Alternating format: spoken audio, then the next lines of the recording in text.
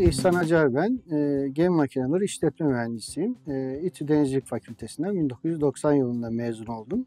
E, 10 yıllık deniz çalışmasından sonra e, yaklaşık 20 yıldır da enerji sektöründe çalışıyorum. E, burası 1320 megawatt kurulu gücünde Cenal Elektrik Üretimi AŞ. İşletme müdürü olarak görev yapıyorum. Kurulumundan beri buradayım. Yaklaşık 2 yıldır devredeyiz. 1320 e, megawattlık bir termik santralde dijital altyapı kurulumunda e, standart ürünlerin yanı sıra e, tailor made ya da terzi işi dediğimiz tamamen kuruma özel bazı programların da yapılması, daha doğrusu dijital ürünlerin esnek olması ihtiyacı vardır. Biz bu kapsamda hizmet arayışında BİMSER'in yanı sıra yabancı tedarikçilerle de görüştük.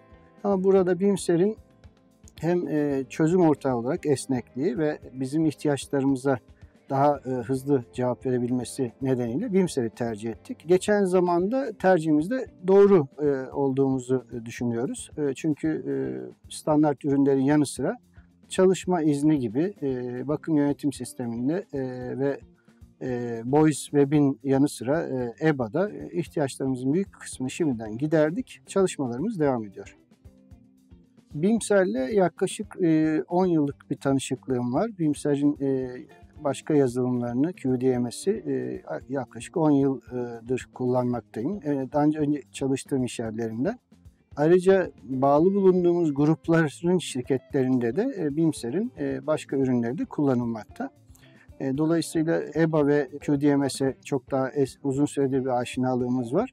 Burada ise Boys Web'i kullandık ve çalışma izni modülünü e, özellikle burada geliştirdik ve şu anda kullanmaktayız. BİMSER'in geniş bir ürün yelpazesi var. E, burada kurumların e, ve kurum yöneticilerinin e, ne istediklerini iyi belirlemesi lazım ve iyi tanımlaması gerekiyor. Doğru tanımlanırsa ben BİMSER'in çözüm üreteceğine inanıyorum. Bunu biz tecrübeyle yaşadık. Her geçen gün üzerine bir şeyler koyduğunu görüyoruz.